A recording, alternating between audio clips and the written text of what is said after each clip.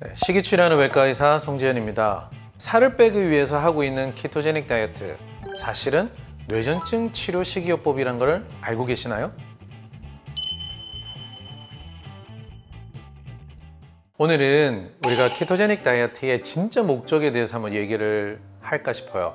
저희가 다이어트라든지 다른 것 때문에 키토제닉 다이어트를 얘기를 많이 했었는데 사실 의학에서 키토제닉 다이어트가 처음 나온 거는 1920년도 아주 유명한 대학이죠. 메이오 클리닉에서 뇌전증 아이들을 치료하기 위한 식이요법으로 먼저 개발이 됐던 거예요.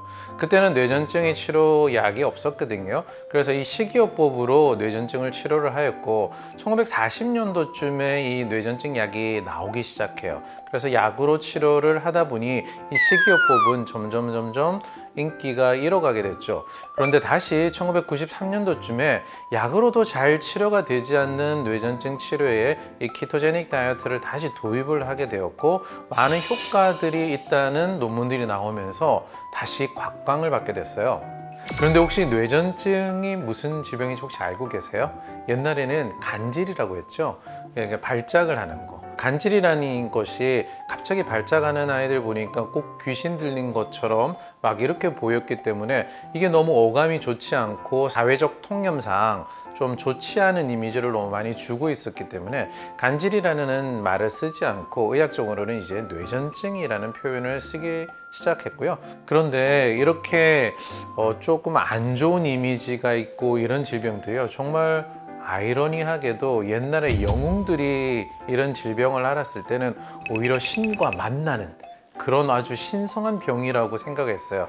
저희들이 잘 알고 있는 소크라테스, 율리어스 시저, 잔다르크, 나폴레옹 이런 사람들이 모두 간질 즉 뇌전증을 앓았던, 앓았던 것으로 알려져 있거든요 그러니까 그 영웅들이 이런 질병을 앓게 되면 왠지 신과 교통하는 거라고 하고 우리처럼 그냥 평범한 사람들이 하면 귀신이 들린 것 같다는 걸 표현한 것처럼 이런 이중적인 잣대로 보고 있었던 것도 참 재미있긴 하죠 어쨌든 이런 뇌전증은 아직까지 원인은 정확하게 몰라요 출산할 때 뇌를 어, 뇌에 손상이 생기거나 또는 여러 가지 기질적 문제가 있는 경우도 있지만 대부분은 원인을 잘 모르고 있어요.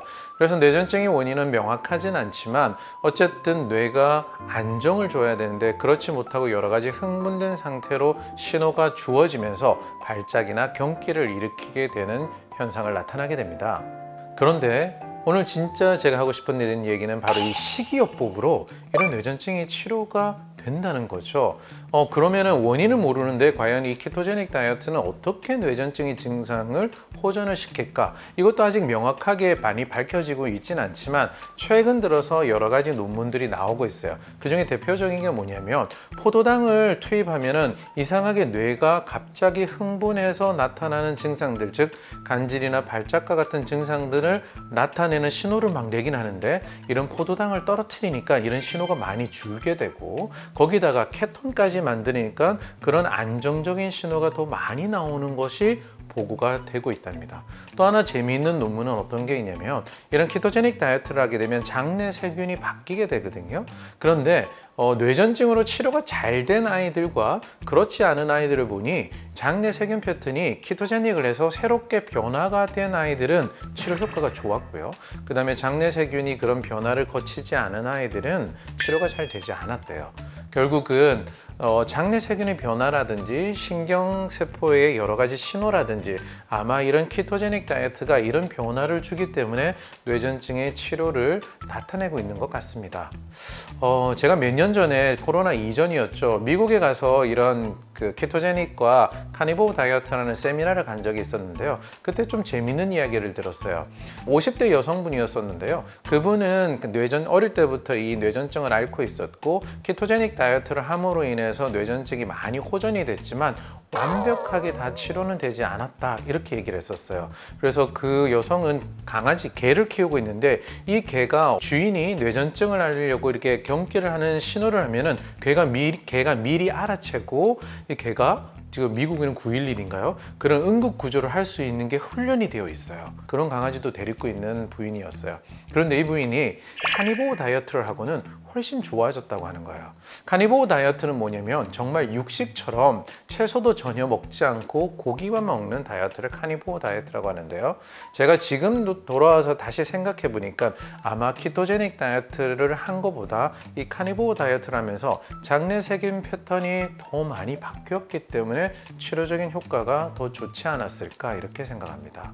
이 뇌전증에 치료하는 키토제닉 다이어트는 아주 클래식한 키토제닉 다이어트를 해야 되는데 이 지방과 탄수화물, 단백질의 비율이 거의 4대 1이 돼야 되거든요.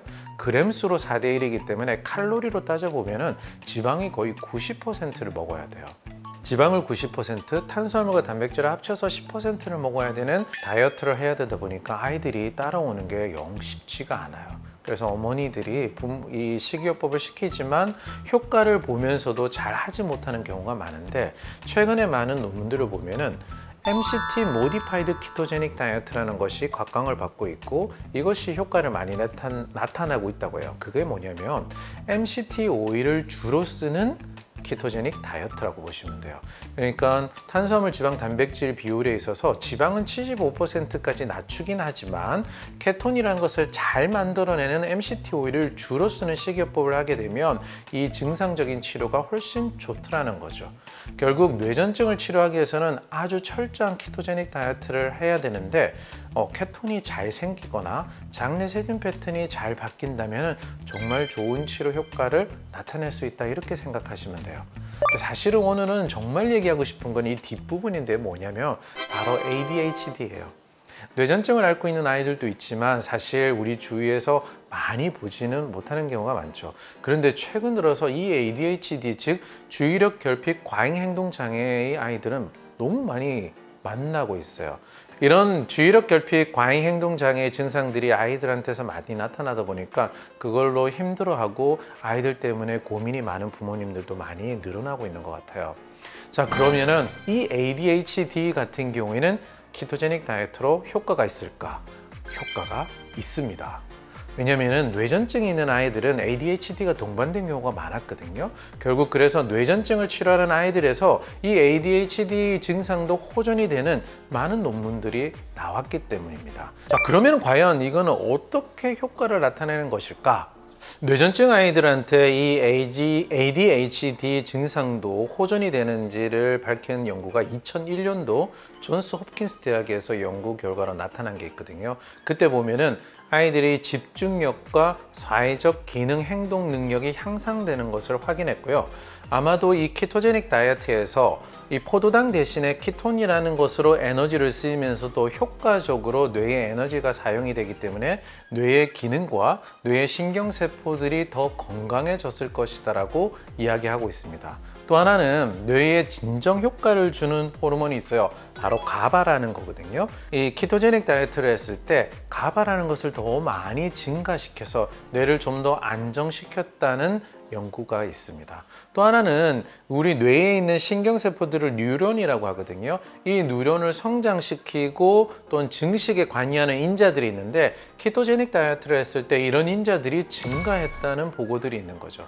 결국 뇌를 좀 더 차분하게 하고 신경을 재생시키고 신경이 좀 더 건강해질 수 있게 하는 데에 이 키토제닉 다이어트가 도움이 된다는 거예요. 자, 그런데 정말 큰 도움이 되는 건 뭐냐면요. ADHD 같은 경우는 정말 클래시컬한 키토제닉 다이어트를 하지 않아도 효과가 있다는 거죠. 사실 우리 애기들한테도 저탄고지를 시키는 게 쉽지는 않았어요. 아이들이 기름과 지방을 많이 먹는 걸 잘 못하거든요. 아이들은 달달한 음식에 매료가 되어 있고 그것을 너무 좋아하고 있기 때문에 이 ADHD 증상이 있거나 또는 진단받았던 아이들을 우리가 호전시키기 위해서 이 식이요법 할 때는 부모님들은 좀 천천히 진행하시는 게 좋다고 생각해요. 가장 문제가 되는 단순한 당부터 먼저 끊어주시고 그 다음에 탄수화물을 줄여가면서 단백질과 지방을 늘리는 식단을 점점 조금씩 이행한다면 좀 더 쉽게 접근할 수 있고요. 우리 아이들이 뇌 건강을 위해서 부모님들 키토제닉 다이어트를 공부해 보시고 아이들한테 꼭 적용해 보시기 바랍니다. 저희 유튜브를 보시고 궁금한 것이 있다면 언제든지 글을 달아주시고요. 댓글로 글을 남겨주시면 언제나 거기에 대해서 제가 또한 답변을 해드리도록 하겠습니다.